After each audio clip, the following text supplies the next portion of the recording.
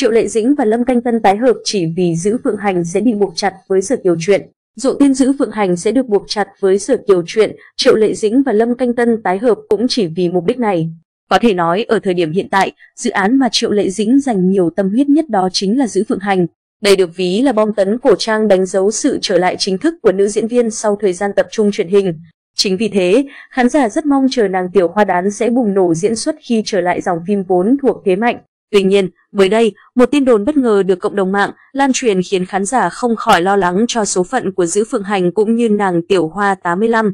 Cụ thể, trên mạng xã hội bất ngờ lan truyền thông tin rằng Dữ Phượng Hành khi lên sóng đã định sẽ buộc chặt tuyên truyền với Sở Kiều Truyện.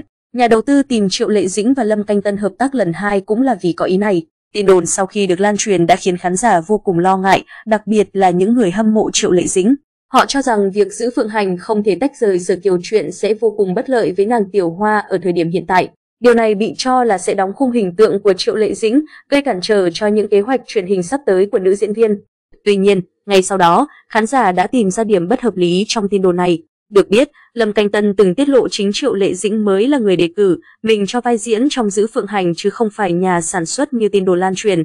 Điều này cho thấy nữ diễn viên họ Triệu rất coi trọng Lâm Canh Tân, muốn cùng anh hợp tác vì mức độ ăn ý chứ không phải với mục đích buộc chặt với Sở Kiều Truyện. Trước đó, bộ phim Sở Kiều Truyện với sự tham gia của bộ đôi Lâm Canh Tân, Triệu Lệ Dĩnh đã từng gây sốt ở nhiều quốc gia châu Á và mang về cho họ hàng chục tỷ lượt xem. Đây được xem là bom tấn rực rỡ nhất trong sự nghiệp của mỹ nhân họ Triệu. Sau đó, Triệu Lệ Dĩnh từ chối tham gia phần 2 của dự án này và nhận lời đóng chính giữ Phượng Hành. Đồng thời, nhà sản xuất cũng tiết lộ bạn diễn của cô trong tác phẩm này chính là Lâm Canh Tân. Tuy nhiên, cái bóng quá lớn của Sở Kiều Truyện cũng tạo không ít áp lực cho cặp đôi. Bởi nếu không vượt qua thành tích cũ, cả hai sẽ khiến khán giả thất vọng. Tuy nhiên, điều giúp trấn an khán giả chính là việc nàng tiểu hoa đán họ Triệu vốn trước nay được xem khá kén kịch bản.